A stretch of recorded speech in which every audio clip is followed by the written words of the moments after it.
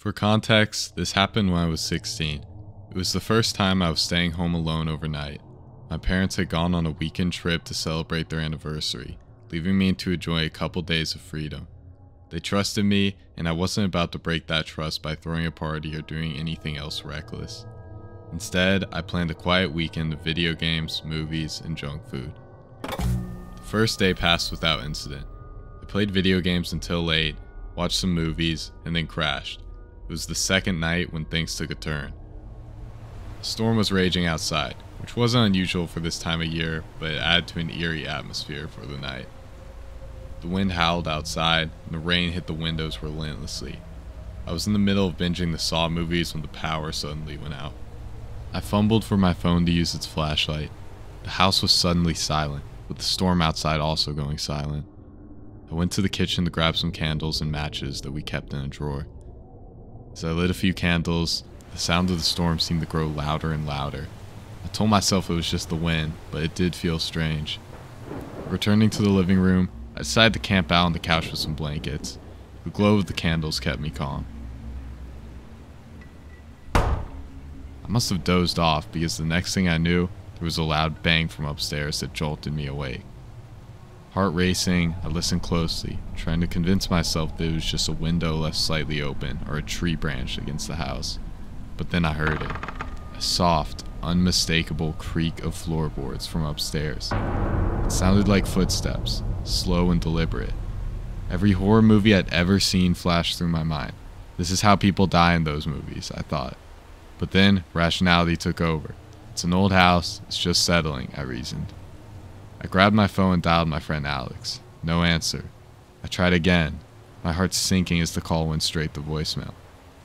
The footsteps seemed to move from one room to another, and then they started down the stairs. That's when I really started to freak out. Someone or something was in the house with me. I remembered my dad's advice. If you ever feel scared or threatened, go to my office. There's a lock on the door and a phone. Crept towards the office, avoiding the moonlit parts of the house where I'd easily be seen. The footsteps continued, but now they were on the ground floor. Reaching my dad's office, I shut the door as quietly as I could and locked it. The room felt safe, with my dad's desk and bookshelves filled with volumes of history and other old literature. I found the phone, but my hands were shaking so badly I barely managed to dial 911.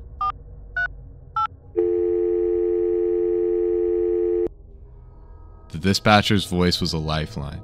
911, what's your emergency? There's someone in my house, I whispered, voice trembling. I'm home alone. Please send someone. Stay on the line. Help is on the way. Can you tell me where you are in the house? I explained as best I could, my voice barely above a whisper, terrified that whoever was in the house with me would hear. As I spoke, the footsteps stopped. Everything went silent.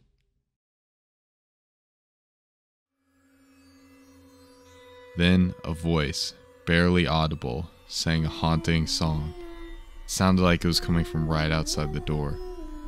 Never been that scared in my life.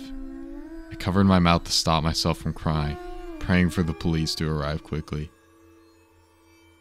The slow singing suddenly stopped, replaced by a scratching at the door. The 911 dispatcher was asking questions, but I couldn't even talk. I was so scared. And then, as suddenly as it had begun, it stopped. Moments later, the sound of sirens approached, growing louder and louder until they filled the world outside. They arrested her. It was a woman who escaped from the psychiatric ward just two days prior. How she got into our house, I have no idea. I never spent another night alone in that house. We moved two months later.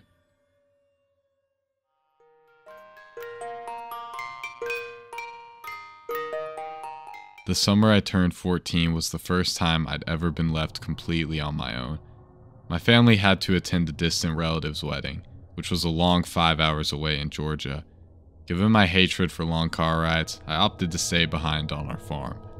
Unlike some other kids my age, being alone didn't bother me.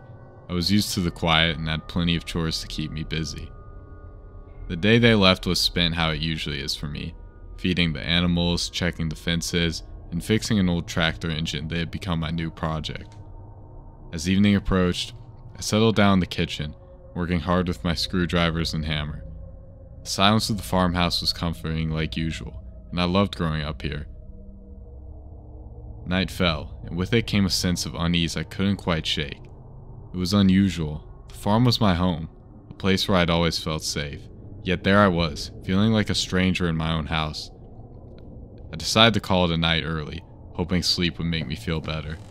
As I made my way upstairs, the floorboards creaked below me, and I felt even worse. Each step seemed to echo too loudly in the empty house, and each shadow in the hallway seemed a lot deeper and darker. I told myself the silence was playing tricks on me, but I was pretty scared. In my room, the window was open. I didn't remember opening it, but then I had a lot on my mind. Just as I was about to close it, though, a noise from the barn caught my attention. A faint but distinct sound of metal clanging. My heart skipped a beat. No one should be in the barn at this hour. Grabbing a flashlight, I headed outside and made my way across the yard. Inside the barn, the sound was louder. I called out, Who's there? I then screamed at whoever was there to get off our property, but no one answered. I couldn't see anything. Then I saw it an overturned toolbox. All the tools spilled everywhere on the floor. I knew at that moment that someone had been there and recently. Terrified, I ran back to the house as fast as I could. As I was running, though, I could have sworn I heard footsteps chasing behind me, but it was too dark to tell. I got to the door of the house and quickly slammed it shut behind me, locking it as fast as possible. I spent the rest of the night with every light on in the house. I immediately called the cops when I got back inside. Finally, the cops came, and as the sun rose, we could see more of what exactly happened. They found fresh tire tracks outside that definitely weren't from my parents. The police said it was likely someone passing through looking for anything they could steal. Our tools were pretty valuable. They promised to increase patrols in the area, but I was still terrified that whoever did this could come back any day. In the end, my family decided it was time for a change. We moved later that year, leaving behind the farm and its memories, both good and bad. I'll never know if that intruder just wanted some tools or something much darker.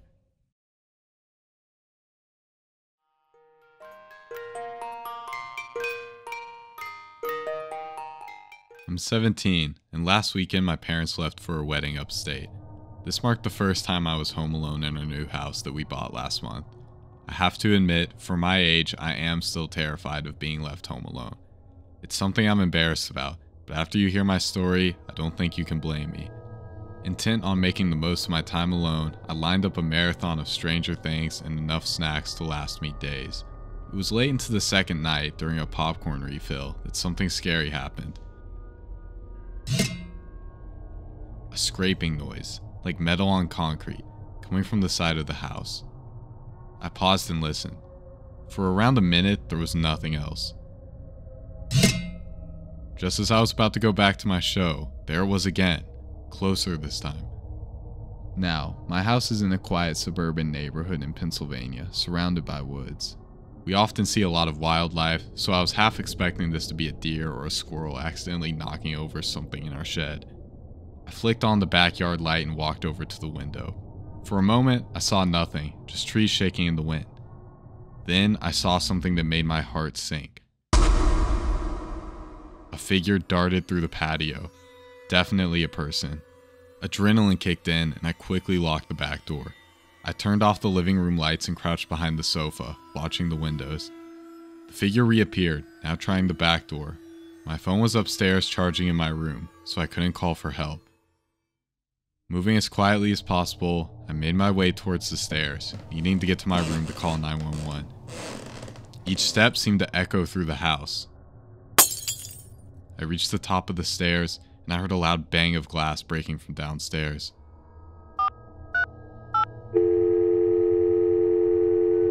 I ran to my room and called the cops as quickly as I could, my voice barely above a whisper as I told the operator my address and what was happening. As I was talking, I heard the distinct creak of footsteps from the floor below. Freaking out, I decided to enter my tiny wooden closet to hide. I moved past some clothes and sat down on the closet floor. Finally, the footsteps from earlier reached the top of the stairs. I heard them walking around from my parents' room to my brother's room, and then finally they opened the door to my room. From my hiding spot, I saw their shadow move past.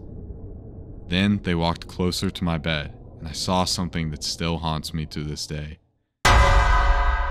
They were a tall guy with greasy, long black hair, wearing a gray beanie and a hoodie. He smelled horrible, like a mix of sweat and a dead rat. He started to look under my bed, and I was praying he didn't check the closet next. The next thing I knew, though, I heard a pounding on the front door downstairs, and then it swung open. Suddenly, the police were screaming and running through downstairs. The guy in my room ran off, but I heard the sound of yelling and a thud shortly after.